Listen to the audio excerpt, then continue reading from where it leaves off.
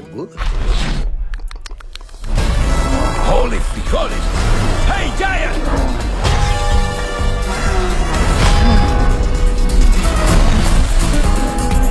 Gracias, the legend will never die! Puss and Boots, you died. I have nine lives. And how many times have you died already? No, Puss and Boots doesn't need a spotter. Watch! Uh -huh. Down to your last life. They found me. He is me. Kitties of paws, I need your help. Shrek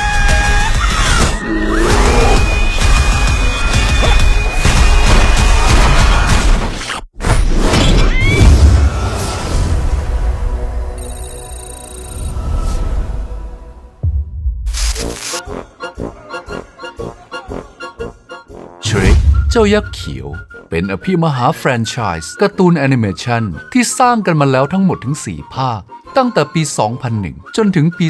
2010 และกวาดรายได้ทั่วโลก รวมกันทั้งหมดกว่า 3,000 ล้านเหรียญ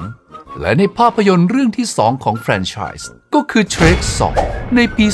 2004 หนังก็ได้ให้กำเนิดตัวละครตัวใหม่ ที่กลายเป็นตัวละครที่ทรงคุณค่า จนสามารถสร้างภาคแยกเป็นของตัวเอง และกวาดรายได้ไปมหาศาลถึง 555 ล้านเหรียญนั่นก็คือเจ้าเหมียวจอมกวน ที่ชื่อว่า Puss in Boots นั่นเอง โดยทางผู้สร้างได้วางคาแรคเตอร์ของเจ้าเหมียวตัวนี้ ให้เป็นแมวยอดฝีมือที่พูดภาษาสเปน และเป็นนักดาบเลื่องชื่อ ที่มีฝีมือในการต่อสู้แบบไร้เทียมทาน โดยได้อิงคาแรคเตอร์มาจากยอดนักดาบผู้ลือชื่อในตำนานของเม็กซิโกหน้ากากโซโรนั่นเอง เมื่อคาแรคเตอร์ของตัวละครได้ลอกแบบมาจากหน้ากากโซโรคนที่จะมาพากย์เสียงเจ้าเหมียวจอมยุทธตัวนี้ ก็จะเป็นใครไปไม่ได้ นอกจาก Antonio Banderas ผู้รับบทเป็นหน้ากากโซโรในหนัง The Mask of Zorro 1998 นั่นเอง โดยเจ้า Puss in Boots เวอร์ชั่นของ Banderas นี้ ได้ปรากฏตัวครั้งแรกในจักรวาลของเจ้ายักษ์เขียว ในหนัง Shrek ภาค 2 ปี 2004 และด้วยความน่ารัก ความเท่ บวกกับความกวนชวนเบิ๊ดกะโหลกทำให้มันกลายเป็นขวัญใจของผู้ชมไปในทันที เมื่อแมวน้อยธรรมดาธรรมดา กลายเป็นซุปเปอร์สตาร์ของโลกภาพยนตร์ทำให้มันกลายเป็นคาแรคเตอร์เจ้าประจำของจักรวาล Shrek ไปในทันที โดยมันได้ปรากฏตัวในหนังของเจ้ายักษ์เขียวอีกสองเรื่อง คือ Shrek the Third ในปี 2007 และ Shrek Forever After ซึ่งก็ทำเงินไปมหาศาลทั้งสองเรื่อง และเมื่อเจ้าเหมียวมันดังขนาดนี้ มีหรือที่ทางผู้สร้างจะปล่อยให้โอกาสทองหลุดลอยไป จึงเป็นที่มาของโปรเจกต์ในการสร้างหนังเดี่ยวของเจ้าเหมียวยอดนักดาบในปี 2011หนึ่งปีหลังจากการฉายของหนังเรื่องสุดท้ายในจักรวาล Shrek Shrek Forever After ในปี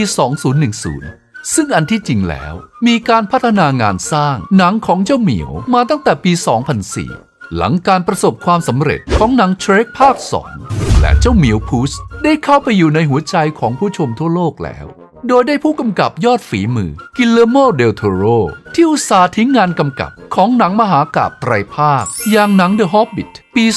2012 เพื่อมารับหน้าที่อำนวยการสร้างให้กับหนังเรื่องนี้โดยเฉพาะเลยทีเดียว และเมื่อมันเป็นหนังเดี่ยวที่ขายอะไรเกี่ยวกับ Spanish Spanish หนังเลยคนนักแสดงที่มีเชื้อสายละตินมาขึ้นจอกันหลายคน ซึ่งนอกจากพระเอกอย่างแบนเดรัสแล้ว ก็ยังมีนักแสดงสาวสุดเซ็กซี่ ชาวเม็กซิกันอย่างซาลมาฮายเยกมาพากเป็นนางเอกของเรื่องด้วย และเมื่อมันออกฉายในวันที่ 16 ตุลาคม ปี 2011 มันก็กลายเป็นความฮิตอย่างถล่มทลายจากทุนสร้าง 130 ล้านเหรียญ หนังทำรายได้ไปอย่างถล่มทลายถึง 555 ล้านเหรียญทั่วโลก แต่แม้ว่าหนังจะฮิตและทำเงินมโหฬารขนาดนี้ หนังก็ต้องใช้เวลาที่ยาวนานกว่า 11 ปี ในการที่จะทำภาคต่อ เพื่อสืบสารภารกิจผจญภัย ที่สุดเร้าใจของพ่อเหมียวเจ้าเสน่ห์และในปี 2022 นี้ ทุกอย่างก็สิ้นสุดการรอคอย เมื่อหนังภาคต่อของพี่เหมียวในตำนาน Puss in Boots The Last Wish ก็ได้เวลาที่จะออกฉาย ในวันที่ 29 ธันวาคม 2022 ที่จะถึงนี้ ในหนังภาคต่อที่รอคอย ผู้กำกับก็ได้จัดเต็มสำหรับบรรดานักแสดงชื่อดังของวงการ ที่จะขนกันมาภาคเสียงจนล้นจอ ที่นอกจากแอนโทนิโอแบนเดรัสกับซอร์มาฮายเยกพระเอกนางเอกของเรื่องแล้ว ก็ยังมีนางเอกสาวตัวจีดเจ้าของบทมือสังหารจาก Black Widow อย่าง Florence Pugh ด้วย Olivia Colman เจ้าของบท Queen Elizabeth จากซีรีส์ The Crown และ Wagner Moura เจ้าของบทเจ้าพ่อค้ายาในตำนาน Pablo Escobar จากซีรีส์ Narcos ของ Netflix ที่โด่งดัง มาร่วมสร้างความมันให้กับหนังด้วย โดยในภาคนี้หนังจะเล่าเรื่องราวของเจ้าเหมียวพุสจอมซ่า ที่ด้วยความห้าวและคึกขนองทำให้มันได้พบว่า